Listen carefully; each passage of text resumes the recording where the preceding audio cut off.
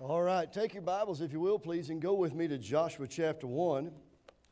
Or excuse me, Joshua chapter 3. Joshua chapter 3. And I got to tell you, this is one of my favorite places in all the world. And uh, listen, it is such a great place. I just go down here by myself, sit on the front row, and two good looking chicks come and sit by me. I mean, amen. Where else does that happen? Come on, amen. I hate to tell you, girls, but I am married. Come on, right there, amen. And my wife is here. I'm glad she's here.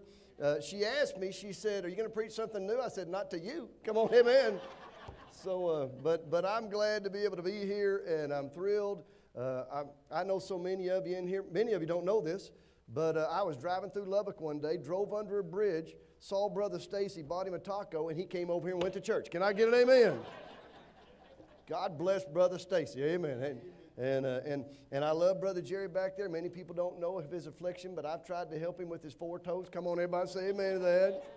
But uh, I'm glad he's here. And of course, uh, I, I, love the Downers. There's no doubt that our family loves the Downers. My son Braxton, uh, my daughter Brooklyn, they love Chris and Trish. And uh, man, my daughter's in Bible college in California. Uh, my son is on a reprieve, but he'll be back out there next semester. And it's an amazing thing to be able to watched those kids grow up, and they love you. Uh, we were at camp one year, and uh, Braxton uh, had a severe underbite, and Trish walked up and said, I can fix that. I said, My goodness, she's a Benny Hinn. She's going to fix him right here. But uh, no, she got him, and we'd come out here about every six weeks, every month, something like that, and Trish would get him fixed. And uh, he's so good looking now, he's getting married. Amen.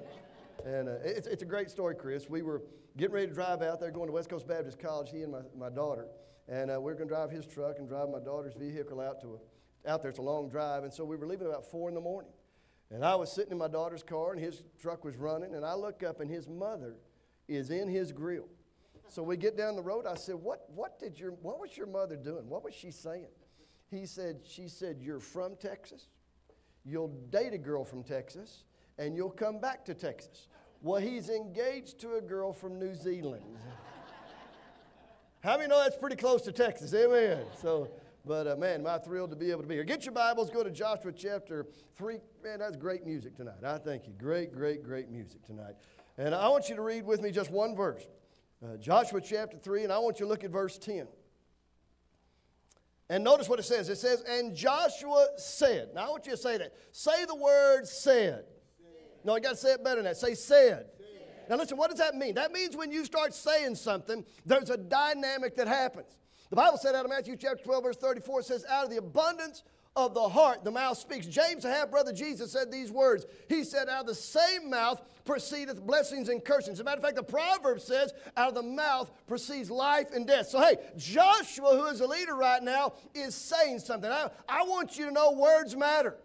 I want you to know what you say, where you say, how you say it matters. As a matter of fact, according to my wife, tone matters. So just know this Joshua is saying something. Words have power. You've heard him say, Sticks and stones may break my bones, but words will never. How many know that's a lie? Come on, how many know that? It's just not true. Words have power. And Joshua is saying something. It says, And Joshua said, Hereby we shall know, we shall know that not the dead God, but the living God. Come on, amen. He's not dead, he's alive that the living God is among us, or among you, and that he will without fail drive out from before you the Canaanites, and the Hittites, and the Hivites, and the Perizzites, and the Girgashites, and the Amorites, and the Jebusites. So let's pray. And then we're going to dive into our text. Our Father, thank you so much for the privilege to be in your house. And God, especially this house. I love these people. I love this pastor. So thankful, God, for he and Trish and their faithful lives and their awesome kids. And God, what a thrill it is to come in here tonight and worship and have the name of Jesus Christ lifted up. And God, I pray you to remind us one day every knee's going to bow. And every tongue's going to confess that He, Jesus, is King of kings and Lord of lords. And so, God, I thank you for the Word of God, that it's inerrant, it's infallible, that God, you've given it to us tonight, that we might make application to us. God, I recognize we don't know Joshua in the flesh, but God, we can know the struggles, and we can know the burdens and we can know, God, how you used his life and take that same thing and use it in our life. So I pray, God, if there's somebody in this building who has never been saved, They've never passed from death to life. If they were to die right now, they'd wake up in hell. God, I pray this would be the night they'd get saved. I pray this would be the night they'd meet Jesus. You oh, know, God, for that somebody who's been saved. God, your word says, Wilt thou not revive us again? God, that's what we're asking. Send revival to our hearts, send revival to our lives. Our nation needs revival, but God, it won't start in the nation, it'll start here with us. So, God, speak to us. And God, in advance, we're going to thank you for what you do. Because it's in Jesus' mighty name we do pray. And good and loud. Now, everybody said, Anytime you start studying the Bible, you have to put it in what is known as the context of which it's being spoken. In other words, you just can't take a verse and say, well, it means this to me, it means this to my mom, it means this to my grandma. No, you have to know what God intended when He wrote it down. The Bible said every word of God has a power within itself for its own fulfillment. The Bible said of itself that it's quick and powerful and sharper than any two edged sword, piercing even to dividing asunder soul and spirit of the joints and marrow. And it's a discerner, here it is, of the thoughts and of the intents of the heart.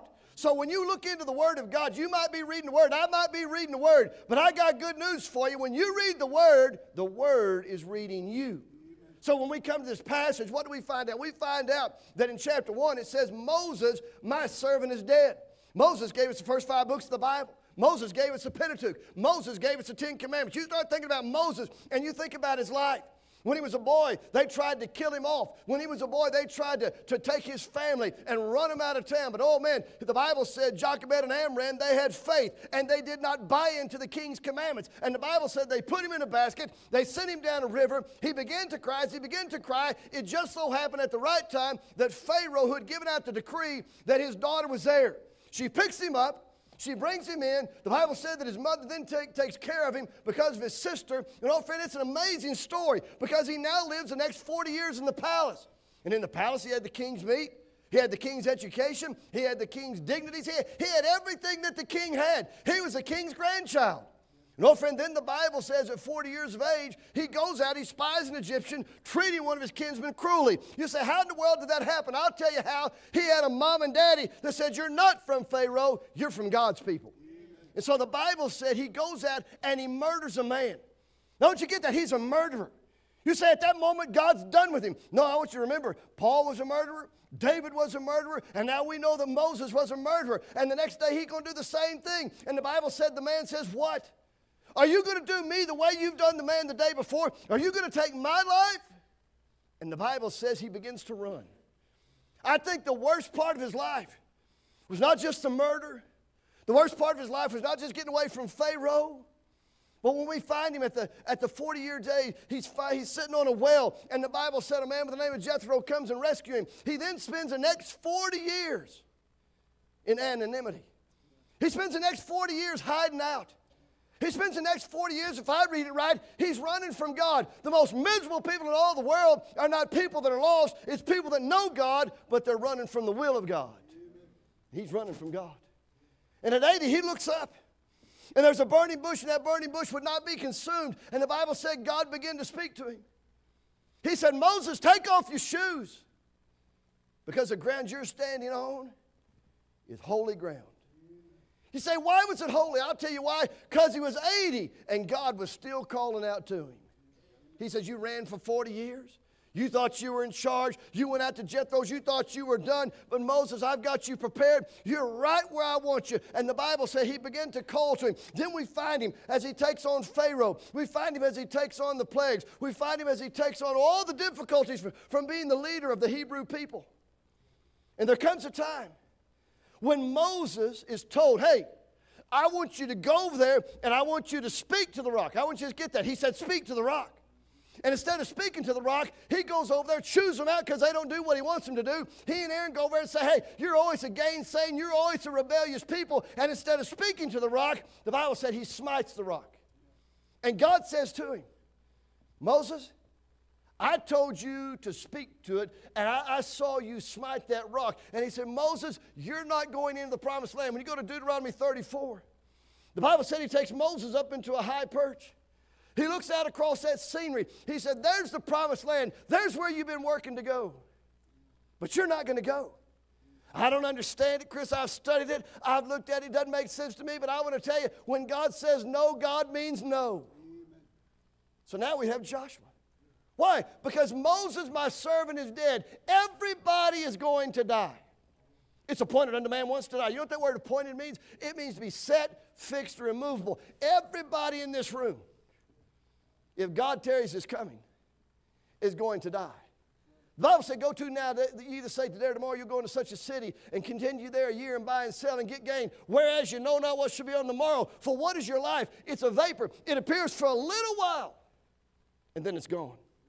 Solomon said uh, in Proverbs 27 1, Boast not thyself of tomorrow, for thou knowest not what a day will bring forth. Oh, friend, Moses dies. And then the Bible said that there's a young man who's been his associate. His name is Joshua. And God begins to call Joshua. And the Bible says that Joshua's got all of his issues. As a matter of fact, in chapter 3, verse 7, it says, The Lord said unto Joshua, This day will I begin to magnify thee in the sight of all Israel so that they may know that as I was with Moses, so I will be with you. Oh, friend, listen, God had a Moses, but now God has a Joshua, praise God. Amen. But now God says to him, Hey, you've had your challenges at the Red Sea. You've had your challenges with Pharaoh. Moses was the leader, but now I want you to go across the Jordan River. If you go to verse 15 of chapter 3, the Bible said that the Jordan River is out of its banks. I don't know if you know, but you don't cross rivers when they're out of their banks. But I want to remind you something. The things that are impossible with man, praise God, they're possible with God. The Bible said, Is there anything too hard for the Lord? You see, He doesn't want Joshua getting credit.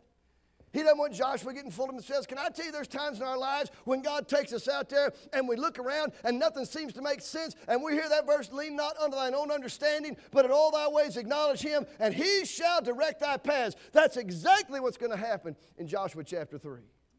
God says, I'm going to lead this. I'm going to get the glory for this. You're not going to do this when this is easy. You're going to do what is impossible. You're not going to do it because you're good. You're not going to do it because you're worthwhile. You're going to do it because I'm going to give you the instructions to do it. And so when you come to the first part of chapter 3, what does he tell them? He says, I want you to attempt the impossible. Now listen, I don't know what's happening in your family. I don't know what's happening in your health. I don't know what's going on in your finances. Hey, I know we live in a world where the Bible said we're going to live in perilous times. How many know we're living in perilous times? No, friend, I don't know what's going to happen in two days or 40 days. I don't know who's going to the White House, but I'll guarantee you when we get done, bless God, God's still going to be on the throne. So, what do we find out?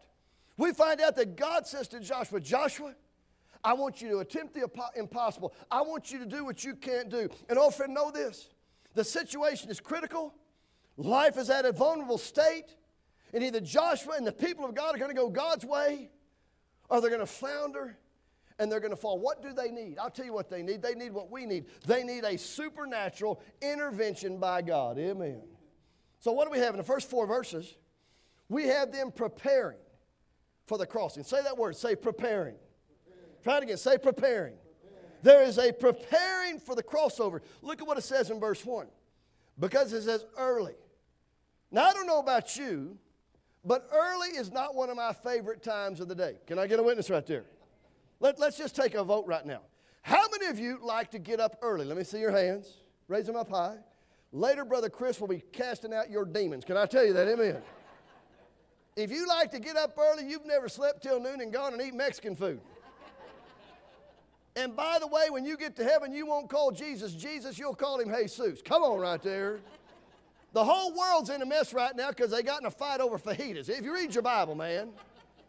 But oh, friend, hey, he, he says to him, I want you to get early. You know what that means? He says, I want you to get prepared. Romans chapter 12, verse 1 says, I beseech you, therefore, brethren, by the mercies of God that here it is, that you present your bodies as a living sacrifice, holy, acceptable unto God, which is your reasonable service, and be not conformed to this world. But here it is, but be ye transformed by the renewing of your mind. You know you'll never do anything for God? I'll never do anything for God if I don't have a transformed mind.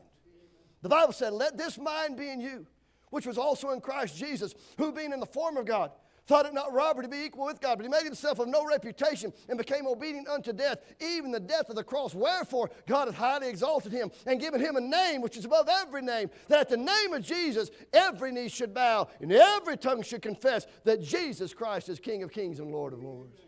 Oh, friend, it's not a matter of are we going to bow, it's just when are we going to bow. You know what he says? He says, get yourself prepared. Uh, James, the half brother Jesus, said, if you'll draw nigh to God, it says He'll draw nigh to you. You're not waiting on God. God is waiting on you.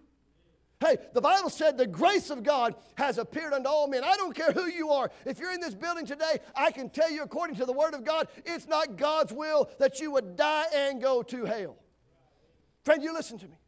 The Bible said in John 3 16, David quote, For God so loved the world that he gave his only begotten Son, that whosoever believes in him should not perish, but have everlasting life. But the next verse says this it says, He came not into the world to condemn the world, but that the world through him might be saved. You go to Second Thessalonians, you know what it says? It says people go to hell not because they're bad. People go to hell not because they didn't go to Sunday school. People go to hell not because uh, they didn't get baptized. No, the Bible said because they would not receive the love of the truth. It says because of this, they shall receive in themselves their own damnation. Hey, hey, God doesn't send anybody to hell. We send ourselves to hell when we reject Jesus Christ. You know, friend, you look at this. He tells them, get ready early. That's why the Bible says in 2 Corinthians 6 and verse 2, it says, Behold, today is the day of salvation. Behold, now is the accepted time. Why? You don't know you're going to be here tomorrow. So they get prepared early. 1 Corinthians 10, verse 31 says, Whether you eat or you drink or whatsoever you do, do it all to the glory of God. And so there's a time of waiting in verses 1 and 2. Isaiah 40 and verse 31 says, They that wait upon the Lord shall renew their strength. They shall mount up with the wings as eagles. They shall run and not be weary. They shall walk and not faint. Can I tell you the most difficult word in the Bible for Clark is to wait? Come on, amen. By the way, Brother Chris, that's why I like Mexican food. You know why? Because you sit down and start eating. Can I get an amen? You're not waiting on the food, the food's right there in front of you. Amen. And by the way, I like sweet tea with a lot of ice. Can I get a witness in the house? The Lord don't like lukewarm, and neither does Clark. Come on, amen. So, so wait, he says to wait. I'm the guy that stands in front of the microwave and says, hurry up. and can you imagine after all the time, Brother Chris? They, they'd waited 40 years. Now, now their leader, Moses, is not going to take them through. And they've been waiting, and God comes back and says, wait again. There are times in life when you and I have to realize that God's not telling us no, but God's telling us to wait. Why? Because God is never late, He's never in a hurry, and He's always right on time. God knows what's best, God knows what's right in your life. And He says to him, He says to wait. You come to verses 3 and 4, and he gives them a command. Why? Because the commands of God are meant to be followed, and when we follow the commands of God, the blessings of God come to our life. Moses gave us Exodus chapter 20, where we had the Ten Commandments. By the way, I think we'd be all right in our culture if we went back to the Ten Commandments. But, but, but here what, here's what you find out. He gives them commands, and here's the command. I want you to get this. He gives them commands to follow the ark of God. Everybody say ark. Say, say it again. I want you to get say ark. Now, wait a minute. What was the ark and what did it represent? It represented what we all want in our lives. It, it represented what was most meaningful in all of our lives. He, it represented the presence of God. You go to Acts chapter 3, verse 19. You know what it says? It says there are times of refreshing that come from the presence of God. There, there's nothing like being in God's presence. You can't manufacture it. You, you can't drum it up. You can't fake it up. You can't just go through the mo- No, there's something about knowing, just knowing you're in the presence of God. The Bible says in uh, Psalm 16, verse 11, says, Thou wilt show me the path of life. In thy presence is fullness of joy. At thy right hand there are pleasures forevermore. You know why we have the longing heart? You, you, know why we have the problems that we have? I've got statistics here talking about people taking their lives, talking about alcoholism, talking about drugs, talking about loneliness. They're all over the map. You can go to the National Center for uh, Statistics and they'll tell you we live in a, in a very miserable society. And you know what every one of them's looking for? They're looking for a right relationship with God. Because you can never be at peace with yourself, with your family, with your job, with your. You cannot be at peace with anyone until you've made your peace with God. The book of Philippians says, Great peace have they which love thy law. Oh, friend, th- there's something about a peace that passeth all understanding. Oh, friend, th- th- there's the peace of God that you cannot buy, the peace of God that you, you probably don't even understand. But, oh, friend, the peace of God and the presence of God is what changes our lives. And see, he told them to prepare. Can I tell you, it's right. It is right to be in the house of God. Come on, amen. It's amazing to me. My mama, uh, is from Oklahoma. Everybody say Oklahoma. Let me tell you the best thing about Oklahoma you don't live there. Come on, amen. If you look up Oklahoma in Greek, it means casino. If you ever see a good looking girl in Oklahoma, she's a visitor. Anybody from Oklahoma? You ain't gonna tell me now, are you? Amen. My mama's from Oklahoma. And uh, th- th- there was a time in her life when they did what was called a two week revival. My mama got saved on the last day of a two week revival. Can you imagine that, Brother Chris? My people are trying to get out the building before we get done. Come on, amen. They told me, one guy left, I called him later. I said, Where were you going? He said, The Cowboys were playing. I said, Pal, the Cowboys hadn't played in 30 years. Cowboy fans are like old Baptist churches. We're living in the past. How about that, CJ? Come on, right there. Amen. You know, she used to be a Dallas Cowboys cheerleader. Did you know that? Come on. Very, very little people, very few people know that, but I just wanted to share that with everybody. Amen. But my mama got saved on the second week of a two week revival. Let me tell you something.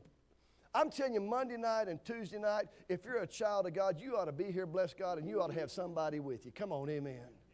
Hey, how, how in the world do we tell everybody we love Jesus and the church matters and Jesus is coming back? If the things of God don't matter to us, the Bible said, Forsake not the assemblies of ourselves together. And it says, And so much more as you see the day approaching. The Bible said, I was glad when they said unto me, Let us go into the house of the Lord. The Bible said, The gates of hell shall not prevail against the church of the Lord Jesus Christ. I'm telling you, the most important thing going on is what goes on at the house of God. Amen. You old friend, you know what they found out? They found out when they got their priorities right. They found out when they sought out God. By the way, if you're in here today and you're not saved, get saved. Come on, amen. And if you're saved and you haven't been baptized, get baptized. Why? Because you identify with church, the resurrection, the death, burial. Uh, you, you, identify with the incoming or the, the, the return of Jesus Christ. There's a lot of things happen. Do it God's way. Amen. And then all of a sudden, the Bible says this they were preparing for the crossing over. And then in verses 5 through 13, there was the consecration for the crossing. Verse 5 says they began to sanctify. Now, I'm making you say a lot of words, but say sanctify. There's, there's two connotations to that word. Number one, they were to be dedicated. I don't care who you are. You cannot succeed in life if your endeavors you're not dedicated to. The Bible said, Come out from among them and be a separate. We're not like everybody else. We're not called to be like everybody else. And so he said, hey, not only to be dedicated, but to be set apart, to be different, to be distinct is really what that means. You're not like everybody else. Can I tell you, praise God, it's amazing to me how the church is like the world and the world could care less. Come on, amen. We're not going to reach the world trying to be like the world. We need to reach the world trying to be like Jesus. So what do we do? We dedicate. We're set apart. Uh, you see, before they moved, they were to be still they were to wait on God. God began to magnify Joshua in verses 6 and 7. In verse 8, they were to stand still. Uh, Psalm 46 and verse 10 says, Be still and know that I am God. You know what that word still means? It means to withdraw. You see, if you're going to walk with God, you can't run around with everybody else. At times, you got to get alone. You got to get by your Bible. You got to get in a closet and close the door and say, I'm not leaving here until God speaks to me. I'm not leaving here until I sense His presence. I'm not leaving here until I get an answer. There are times when you got to withdraw. Be still and know. That word know means to know by experience. It's called a test of your faith. We, we talk about testimonies. Can I tell you, you cannot have a testimony until you have a test of your faith. You go read Hebrews chapter 11. Chris will probably preach through it. And you know what you find out? Hey, those great saints of God, they all had their faith tested at some point or another. You're not the only one to go through trouble. The Bible said, All you who live God in Christ Jesus, it says you're going to suffer persecution. The Bible said to endure hardness as a good soldier, Jesus Christ. Jesus said, If the world hates me, it'll hate you.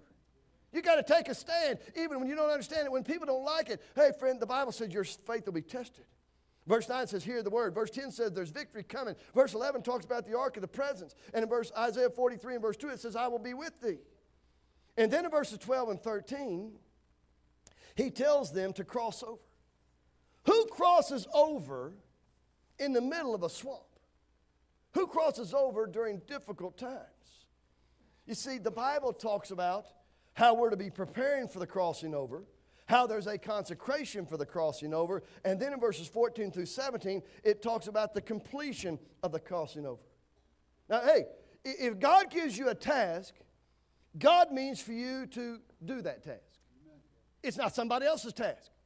It's not what God uh, had called your neighbor to do. It's what God has called you to do. The Bible said, No man, having put his hand to the plow and looking back, is fit for the kingdom of God. James said, Hey, you want to show me your faith? I'll show you my works by my faith. I'm going to do something with my faith. Hebrews 11 again, every one of those guys, they were used greatly of God, but they were tested and tried greatly by God.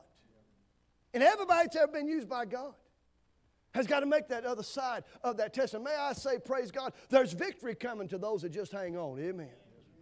And so, what does he say to Joshua? You, got to consecrate.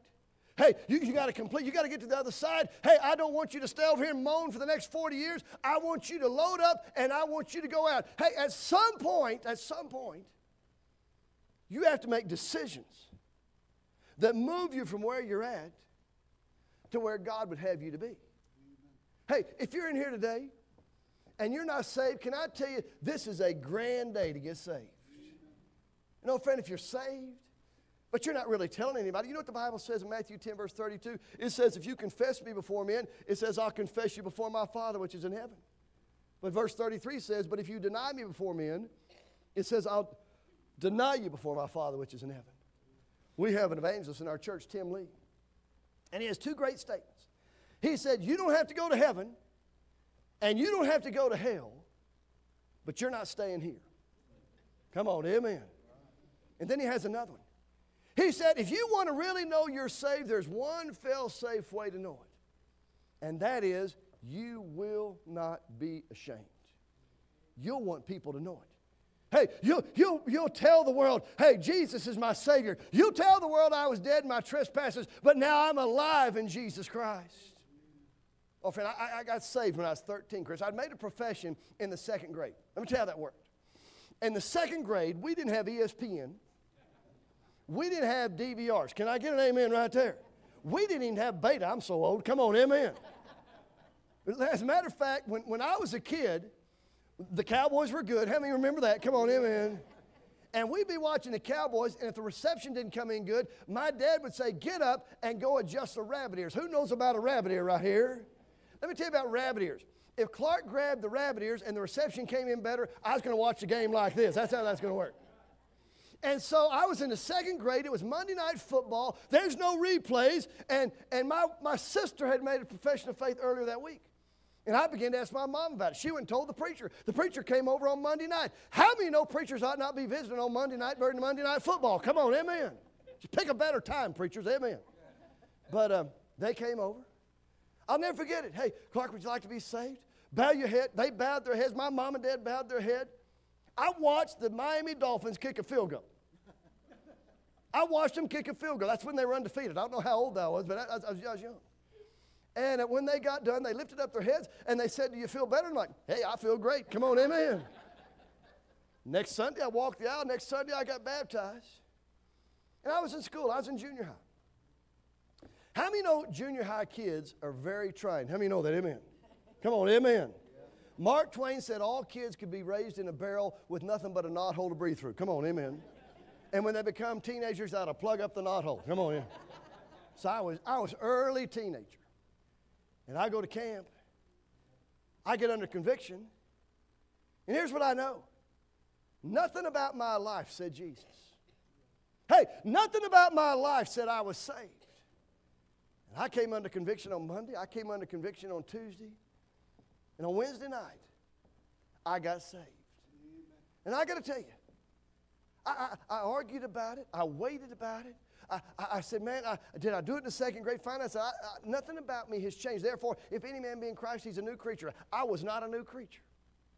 And when I got saved, I waited four years to be baptized. We were getting ready to take the Lord's Supper, and my pastor, Dr. Oldham, gave the Lord's Supper one time a year on Super Bowl Sunday night. Am I right, Dwayne? Amen. He'd say, Bless God, if you don't want to watch it, if you want to go watch the Super Bowl, go watch it. God's people are going to have the Lord's Supper. Amen. And they'd lock the doors before you got going with the Lord's Supper because it was a sanctified moment.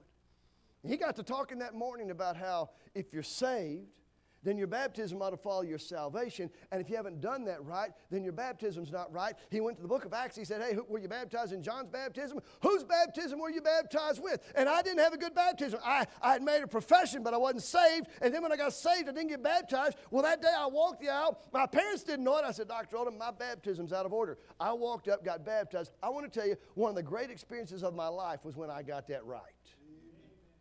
You know what? I'd kicked it around for four years. I think God knew I was going to be a pastor, and I don't let people get saved and not get. Ba- I'm like a Church of Christ. You got to get baptized now. Amen.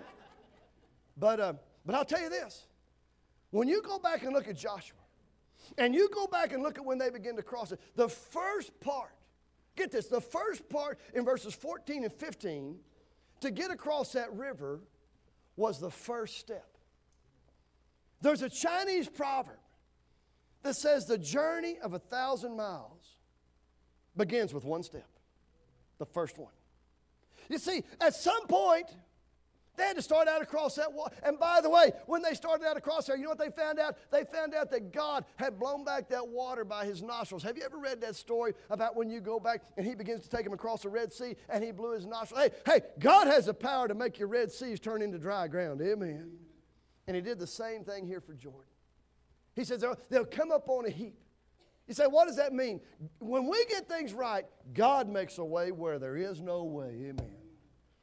And then you find out in verse 16 that they won't move from faith to sight, that they were now in the saving business. Verse 17 the priest, the ark, the covenant of God, they stood firm on dry ground, and all people passed through clean over Jordan. That's why the Bible says in 1 Corinthians 15, verse 18, therefore, my beloved brethren, be ye steadfast, unmovable, always abounding in the work of the Lord, for as much as you know, here it is, for as much as you know that your labor is not in vain in the Lord. Three things, and I'm done. Number one, they came to this place because it was predicted. Now, I want to tell you something. Buddha can't predict, Muhammad can't predict, Confucius can't predict, and you and I cannot predict, but God can. And hey, what does he do? He makes a covenant. There's a whole sermon in there about the covenant. Hey, when God makes a promise, praise God, he keeps that promise. Amen. He's an immutable God. Numbers 23, 19, God's not a man that he should lie, neither the son of man that he should repent. Hath he said and shall he not do it, or hath he spoken and shall he not make it good? If God tells you he's going to do something, bless God, he gets it done. Amen. You know, friend, what do you find out? He predicted it. Number two, the timing was not according to them, the timing was according to God. And by the way, it was the perfect timing. And then there's a third thing it took place when no one but God knew it could happen. Hey, you say, what's the message to us? It may be that you're looking at the land of impossible. Your marriage, your kids, your finances, your health. I got news for you. God has the ability to move when you cannot move. I, um, I was talking to my wife, Tony Lynn, the other day. And we were talking about when it comes to October, that one October I was in Georgia preaching a revival. And I had come home five weeks in a row early because they said, Your mom's not going to make it through the week. And Tony Lynn would call me, and I'd get on a plane and I'd come back from wherever I was preaching. And so on this week, Tony Lynn, my dad said, Hey, you go, go, you stay where you're at. Your mom is fine. You go preach your meeting. And so I loaded up, go to Georgia. I'm preaching this meeting. They call me on Wednesday night right before church, and they say, We're not sure she's going to make it through the night. And so I, I get on a plane the next morning early. I buzz it back. Tony Lynn picks me up, and I go upstairs. And there at Baylor Medical Center on the sixth floor was my mama. She was down to 67 pounds. And hey, hey, hey, listen to me. My mama was one of those ladies that would beat you and brag about it. Can I get an amen right there? Amen. She would. You didn't mess with her. But there she was, frail, there she was dying. And let me tell you the hardest part about it. Not that she was going to die, because listen, the Bible said, precious in the sight of the Lord is the death of his saints. Come on, there's something. Hey, when believers die, they don't die, they go to their reward. They go to an inheritance that, praise God, is incorruptible. Hey, we don't die, we just change locations. Amen. But I thought to myself when we were done, I thought, wait a minute. There's some verses here. I fought a good fight. I kept the faith. Henceforth, because of all this, there's laid up for me a crown of righteousness, Brother Chris, my mama had a crown. She was leaning against the wall because my brother was crazy. Can I get an amen? Yeah, he's crazy. But oh man, listen. You're not done. I'm not done until God says we're done. Hey, hey, hey, you know what he said to Joshua? I know Moses is gone. I know the river's swollen, but I'm not done with you. And by the way, if you're alive right now, hey, God's not done with you. Would you bow your heads for just a moment? And while heads are bowed and eyes are closed, I want us to get honest with ourselves and God. Who tonight could raise your hands and say, Brother Clark, I know that I know that I know that I'm saved. If you know that, raise your hands way up high. Come on, I know I'm saved. Put them right back down. And if you couldn't raise your hands, man, God bless you for being honest. It's easy to get in here and play church. That won't do you any good when you stand before God. God bless you for being honest. let me ask you two or three questions. Those of you just raise your hands. How many of you that are saved would say, Clark, I'm saved, but spiritually, I'm not where I want to be. I'm not where I need to be. I'm not where God would have me to be. If ever there was a time I need a revival, that time is now. Come on, who'll raise your hand up and say, That's me, I need revival? Amen. You put them right back down. I wonder who tonight would say, Preacher, I'm saved, but I'm burdened. You don't have to tell me what that burden is, but there's something on your heart. Come on, let me. There's, there's a burden on my heart. I wonder who tonight would say, Preacher, pray for me, because I've got a friend, a family, and um, uh, somebody that I know at work or at school, they're lost, and right now, God is laying that somebody on my heart. They need to be saved. Come on, let me see your hands. Just, I'm burdened for the lost. Amen. You can put them right back down. Now, listen, I'm going to pray. When I get done praying, I'm going to say amen. We're going to stand. David's going to sing. And on the first know the first verse, here's what I'm going to ask you to do. I'm going to ask you to leave your seat, start down these aisles, and get on these altars. Can I tell you, you can't have revival if you get away from an altar. Dwight Lyman Moody said every great move of God can be traced back to a kneeling figure. Something happens when God's people pray. I'm going to do it tomorrow night. I'm going to do it Tuesday night. I don't think it's wrong to do it every night. Hey, at our church, we have, we, we have invitations because we know they matter to God. Every time God got ready to move, He brought, he, they made an altar and they came to that altar. Something happens when you respond to the hearing of God's word. Not to just be a hearer of the word, but to be a doer and a heater of the word. Some in a moment, I'm going to ask you to come fall on these altars. I'm burdened. I need revival. Somebody I love's lost. But I want to ask this last question. I'm not going to embarrass you. Nobody's going to grab you. But I'd sure like to pray for you. Who in this building wouldn't raise your hand up and say, Preacher, if I died tonight, I'm not positive I'd go to heaven. Let me tell you, there's not a holding state, there's not an intermediate state, there's just a heaven or hell. So I'm going to ask you a question. If you died tonight, how many of you would say, Preacher, I don't know that I'd go to heaven, but I'll tell you this, I'm concerned enough about my eternity. Would you pray for me? Come on, right now, just raise your hand up. Just slip it way up high. Preacher, I don't know that I'm saved. Just slip it way up high. You say, Clark, what do I do if I don't know? Well, you've got one of two decisions. Either you can get up and walk out of here and hope you get to come back some other time, or you can do what God would have you do. You come down here tonight. Brother Chris is going to be right down front. He knows this like he's led hundreds, thousands of people to Jesus. Come down here and take him by the hand and say to him, Preacher, I want to go to heaven. Listen, it's normal to want to go to heaven. It's right to not want to go to hell. But you've got to make a decision. You've got to step out now. Brother Chris will be down here to help you.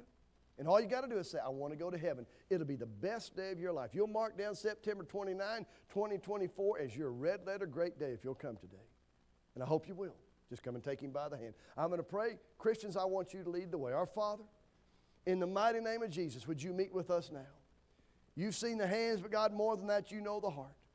You know we need revival. You know our burdens. You know who we love that's lost. And God, you know who in this building needs Jesus. And I pray, God, tonight, all over this building, we'd respond to your will and way because it's in Jesus' mighty name we do pray. Amen. Come on, let's stand. David's singing. Come on right now. Just come on right now. That's it. Come on. Come on. If you need to be saved, just come on right now. Say, I'm coming. Amen. Come on right now. Hey, I'm coming.